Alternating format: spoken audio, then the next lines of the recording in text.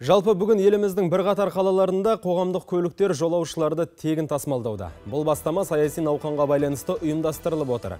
Қала әкімдіктері мен автобус парктері дауыс берушілердің жүріп тұруына жағдай жасау үшін осындай шешім қабылдаған.